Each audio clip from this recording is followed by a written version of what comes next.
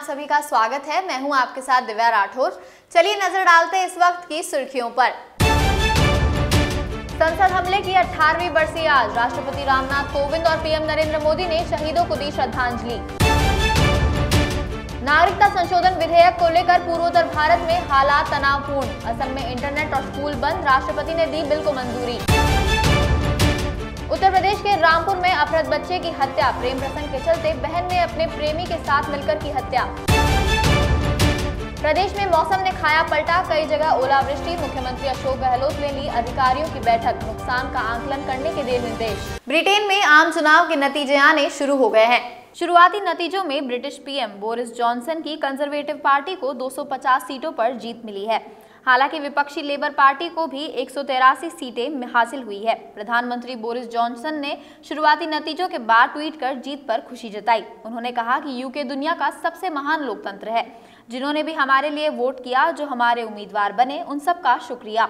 दूसरी ओर, exit poll में conservative party के बोरिस जॉनसन को बहुमत मिलता दिख रहा है। एग्जिट पोल के नतीजों के मुताबिक कंजर्वेटिव पार्टी को तीन सौ अड़सठ और लेबर पार्टी को एक सौ इक्यानवे सीटें मिल सकती है। चुनाव में पार्टी के लिए भारी हार की भविष्यवाणी होने के बाद जेरेमी कॉर्बिन ने लेबर पार्टी के नेता के रूप में अपने इस्तीफे की घोषणा की है। राष्ट्रपति रामनाथ कोविंद ने उन लोगों को श्रद्धांजलि दी जिन्होंने 2001 में संसद पर हुए हमले में अपनी जान गंवाई थी। राष्ट्रपति ने ट्वीट कर लिखा कि एक कृतार्थ राष्ट्र 2001 में इस दिन आतंकवादियों से संसद का बचाव करते हुए अपने प्राणों की आहुति देने वाले शहीदों के अनुकरणीय शौर्य और साहस को सलाम करता है। प्रधानमंत्री नरेंद्र मोदी ने अन्य सांसदों के साथ मिलकर 2001 में हुए संसद हमले में अपनी जान गंवाने वाले शहीदों को श्रद्धांजलि दी। संसद के कई सदस्यों ने उन लोगों को याद करते हुए ट्वीट किया है, जो इस आतंकवादी हमले में मारे गए थे। नागरिकता संशोधन कानून को लेकर पूर्वोत्तर भारत में तनावपूर्ण हालात बने हुए हैं। असम में स्कूलों और कॉलेजों को 22 दिसंबर तक के लिए बंद कर दिया गया है। सेना और पुलिस की तैनाती के बाद भी प्रदर्शनकारी लगातार कर्फ्यू का उल्लंघन कर रहे हैं। यहाँ तक कि उन पर प्रधानमंत्री नरेंद्र मोदी की अपील का भी कोई असर नहीं पड़ा। प्रदर्शनकारियों ने यात्रियों से भरी एक ट्रेन में आग लगाने का भी प्रयास किया। राज्य में पुलिस फायरिंग में अब तक चार लोग मारे गए हैं और नौ अन्य घायल हो गए हैं।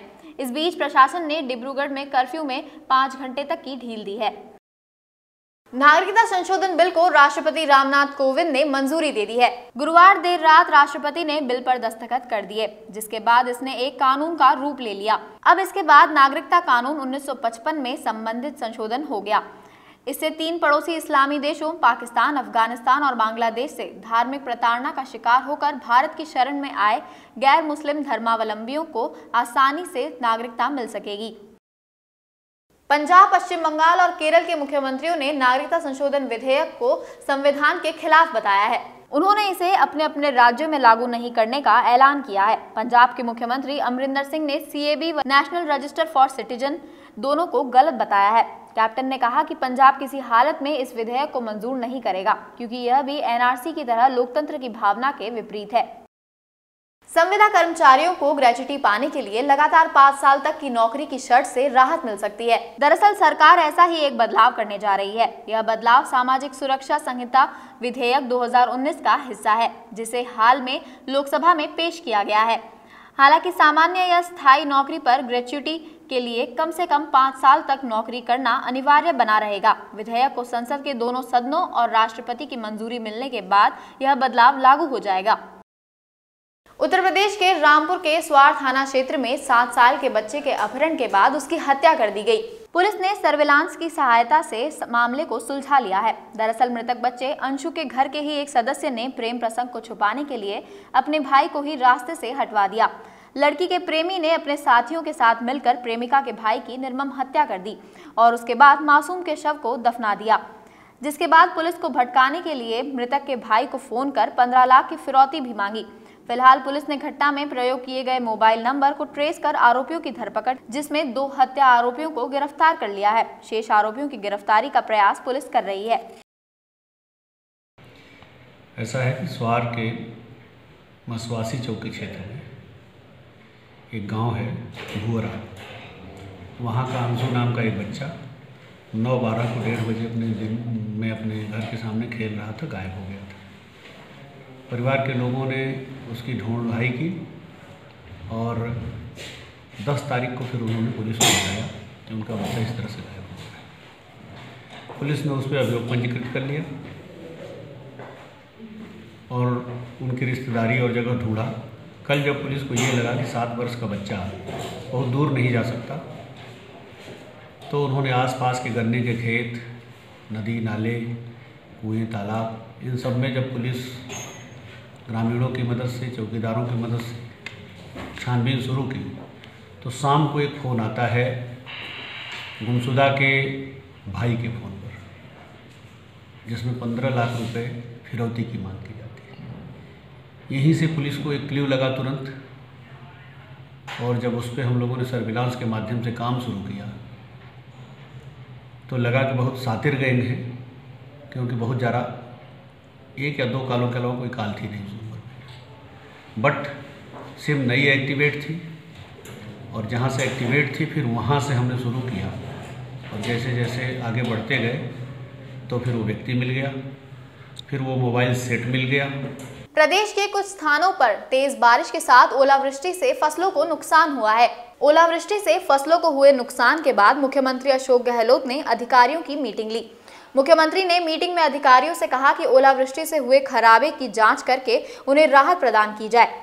इस संदर्भ में उन्होंने मुख्य सचिव, अतिरिक्त मुख्य सचिव वित्त के साथ बैठक की और तुरंत सर्वे कर नुकसान का आकलन करने के निर्देश दिए।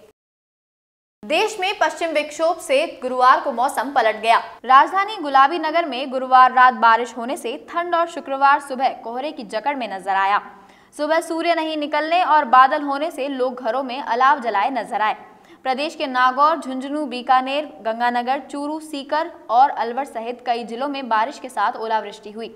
कई स्थानों पर 30-40 किलोमीटर प्रति घंटा की रफ्तार से ठंडी हवाएँ भी चली। सीकर में नीम का थाना क्षेत्र में माँ बेटे की मौत हो गई। अलवर के कोट कासिम में सोनू और नीमराना में लीलू सिंह की भी मौत हो गई।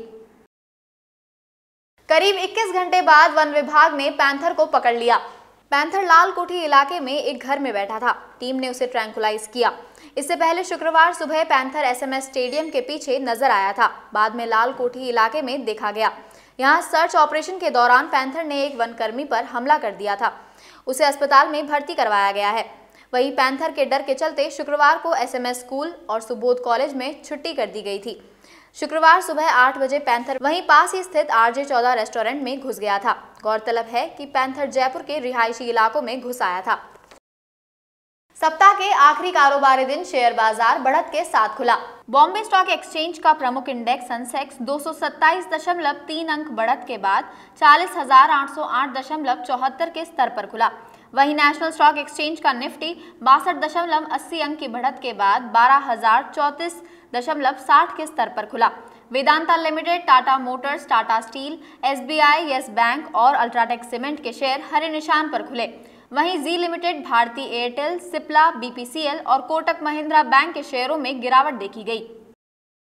खबरों का सिलसिला जारी रहेगा। देश और दुनिया की तमाम खबरों के लिए देखते रहिए द एंगल।